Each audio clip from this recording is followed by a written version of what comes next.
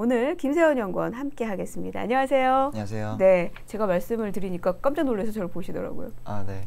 제가 관련된 그 주제에 대해서 이렇게 네. 언급해 드리려고 하니까 제가 이렇게 더 아, 듣게 되었습니다. 그래요? 아니 저는 뭐 제 의견이 있을 수가 없죠. 그러니까 시장에서 보니까 제가 본 어, 시장의 얘기로는 7월에도 100% 금리 인하에 대해서 그런 시각도 나오더라고요. 예. 그게 다 확률이지 그쵸. 그리고 의견이지 네. 그게 어떻게 당연한 거라고 이렇게 얘기하고 있는데 네. 어, 저 일단 저희 그 키움증권의 그 house view는 네. 조금 달라졌습니다. 달라졌어요. 어, 제 네. 의견이 아니라 그 네. 이코노미스트의 의견이 달라졌는데 네. 원래 기존의 view는 저희는 금리 인하가 없을 거라고 예상하고 음, 있었습니다. 음. 근데 그 김유미 차장님이나 음. 아니면 그 채권 담당의 음. 그 아니야 음. 그 주임 분께서 이제는 그 1회에서 최대 2회까지 금리 인하를 보고 있다. 그리고 음. 그 시기는 어 그 미국 경제 지표에 따라서 이렇게 음. 시기가 올 수 있지만 그 경제 지표들이 악화될 경우 음. 7월 그리고 12월 음. 어뭐 보통 이렇게 견조한 흐름이 나타날 수도 있잖아요. 음, 네. 만약에 그런다면 9월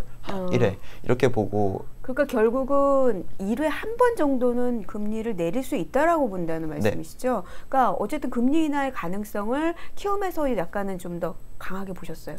어, 좀더 이렇게 좀 보고 있는 거죠. 네네 네, 그렇다고 네. 네, 보실 수 있습니다. 예. 그러니까 이게 그러니까 이게 경기가 아, 그러니까 그 이유가 지금 현재는 경제 지표가 안 좋아지면이라는 조건을 붙이신 거잖아요. 그 파월 연준의 그 네. 코멘트를 보면 네.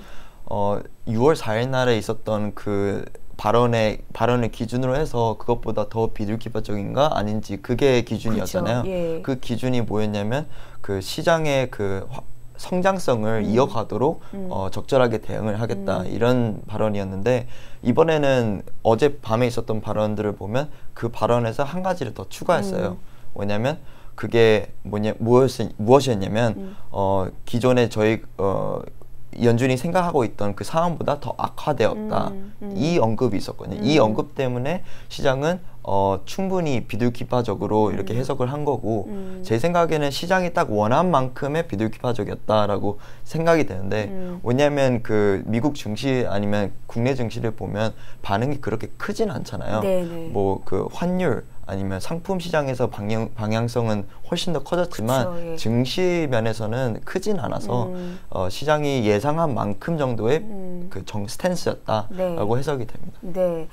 주식 시장을 위한 얘기였나라는 생각이 들죠. 미리 선반영된 만큼만 좀 어느 정도 얘기가 네. 나왔다는 어, 그런 의미가 될 수도 있었어요. 사실 오늘 아침에도 이제 함께 우리 시청자분들도 함께 하는데 아유 환율만큼 우리 주식 시장이 좀 움직여졌으면 이런 네. 말씀도 하시더라고요. 현재는 1,162원대까지 떨어졌거든요. 정말 좀 가파르게 좀 내려가고 있는 그런 상황인데 알겠습니다. 사실은 연구원님 자신 어, 사실은 이 파월 연준 의장이 어, 지금 미중 무역 분쟁 관련된 영향을 조금 더 크게 본 게 아닌가라는 생각을 했었거든요. 네. 발언을 내용을 보면은 그래서 관련된 내용들도 한번 좀 살짝 좀 살펴봐야 될 것 같은데. 그 기자 회견에서 네네. 기, 어떤 기자분이 정말 공격적인 질문을 하나 했었어요. 음, 음. 만약에 미중 무역 분쟁이 완화가 된다면 금리 인하가 없을 거냐? 이렇게 물어봤는데 정말 직설적이잖아요. 네네. 저도 그걸 보고 참 웃었는데 어, 어머 이랬는데 네. 그 파월 의장의 그 발언은 어, 거기 그 중점이 아니라 만약에 그 무역 분쟁을 떠나서 미국 경제의 상태에 따라서 음. 그 적절하게 대응을 하겠다. 음. 결론적으로는 어, 완화가 되든 안 되든 경제 지표가 좋아지거나 아니면 악화되거나 그게 제일 중요하다고 음. 그렇게 발언을 했었기 때문에 네, 네, 네. 어, 아무래도 그 미중 무역 분쟁이나 이런 그 정치적인 외교적인 이런 부분은 그 음. 연준이 연준이 이렇게 섣불리 이렇게 음, 말할 수 없- 없는 거잖아요. 네, 예. 그렇기 때문에 조금 피해가는 그런 예. 경향이 있지 않았나. 근데 기사는 그렇게 나와요. 네. 그래서 잘 해석을 하셔야 되고 어차피 연준도 그렇고 지금 행정부도 그렇고 독립적으로 좀 일해야 되는 건데 서로 연관된 얘기하기는 쉽지 않을 거고 이번에 파월의 연준 의장은 그걸 잘 피해간 것 같긴 합니다. 그러니까 어 가만히 보면은 기업들이 경 기, 그러니까 미중 무역 분쟁으로 기업들이 이익이 안 좋아지고 경기 네. 안 좋아. 그러면 인하하겠다는 얘기잖아요. 그쵸. 그러니까 이걸 다 넘어가서 미중 무역 분쟁 예. 때문이라고 얘기는 안 하고. 그리고 예. 그 흐름이 음. 지금 이제 시작이 됐잖아요. 네, 뭐 네. 이번 주 발표된 뉴욕 제조업 지수도 이제 부- 엄청 크게 음. 부진했었고 그리고 그 어, 주요 기관들 IB들뿐만 아니라 그 월드뱅크나 그런 IMF들의 그런 어, 글로벌 성장의 그 전망도 이제 하향 조정되고 있잖아요. 이 흐름이 지속된다면 금리 인하가 맞겠죠. 네, 알겠습니다. 29분인데 저희 다른 얘기하느라고.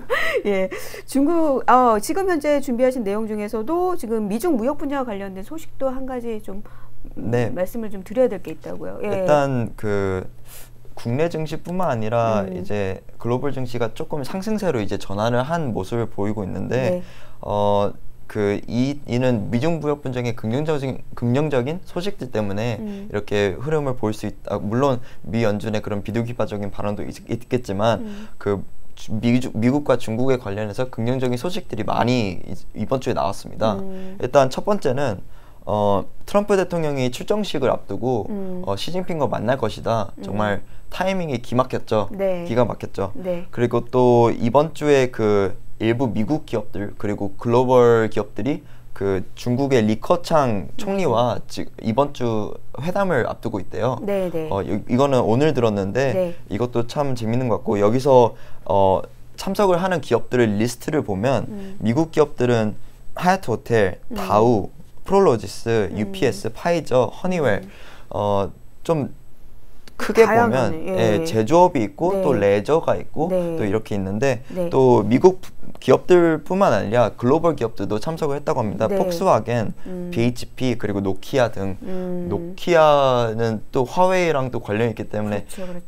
또이 이 회담을 왜 하냐? 음. 그 기업들은 이제 리커창 총리를 만나서 어 이러한 이러한 부정적인 영향이 있을 거다 이렇게 음. 설명을 하는 거고 음. 이렇게 어, 마이크로 면에서 음, 네. 그리고 리커창 총리는 그 이 기업들한테 어 우리 중국 시장은 워낙 크고 기회가 많기 때문에 계속 이렇게 영업을 했으면 좋겠다. 어, 투자를 아, 투자라는 게 네. 아니라 여기 와가지고 뭐 물건도 팔고 그래라 네네네 했겠죠. 예. 그렇게 이런 회담이 내용이 어, 있을 것 같아요. 어. 그뿐만 아니라 이제 다음 주 그 G20을 앞두고 어, 라이트하이저 미국 미국 무역 대표부는 음. 이제 류허와 음. 그 전화 통화를 해서 음. 무역 협상을 조금씩 조금씩 다시 어, 시작하는 그런 음, 음. 소식이 있었는데 음. 이러한 스- 흐름들이 어, 부정적인 흐름이 아니잖아요. 그쵸. 예. 5월부터 보면 이제 무역 분쟁이 격화되면서 음. 계속 격화될 거라고 이렇게 비관론이 많아졌지만 이제 또 어, 이렇게 긍정적인 소식이 나오기 때문에 이제 이제 정말 그 무역 분쟁에 대한 그런 뷰는 G20을 통해서 음. 해결해 아, 한번 까봐야 된다는 거죠. 이제 정말 네. 어, 이제 그 상승 추가 상승 추가 음. 하락보다는 이제 보합된 흐름을 보이지 않을까 이렇게 보고 있습니다. 음, 알겠습니다.